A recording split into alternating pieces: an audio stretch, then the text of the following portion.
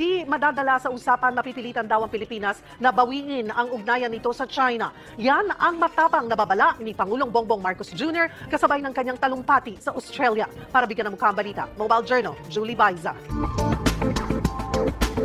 Our independent foreign policy compels us to cooperate with them on matters where our interests align, to respectfully disagree on areas where our views differ, and to push back when our sworn principles, such as our sovereignty, our sovereign rights, and our jurisdiction in the West Philippine Sea, are questioned or ignored.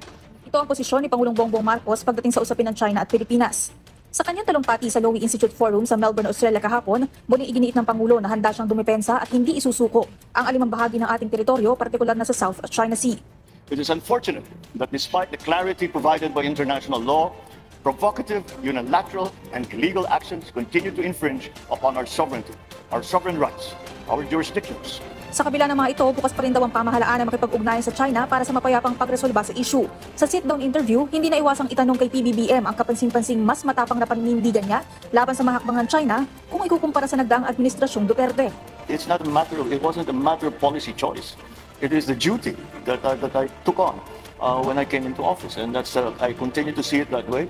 And I think that every Filipino sees it that way. And they depend and they, they expect their leaders to, uh, to, to, to, to, to fulfill that duty, to, to, to be true to their oath, to defend the Republic and its territory and its people. Kasunod niyan, humarap din si Pangulong Marcos sa Filipino community sa Melbourne. My presence in Australia will only be meaningful if I am given the opportunity to meet with you, to spend time with you, ating mga kababayan. Inilatag sa kanila ni PBBM ang agenda na humikayat pa ng investors mula sa Australia at palakasin ng pagtutulungan sa defense at security.